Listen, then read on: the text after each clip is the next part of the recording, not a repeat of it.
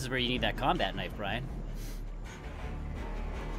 Now sneak up and Crap stab out. the fucker. Crap battle. Sniper. Crap battle. I did Crap it! battle. I did it! Crap battle. I did it! Flip it. Crap battle. He's probably thinking like, what the fuck?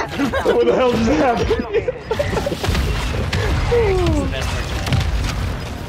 It's the best part.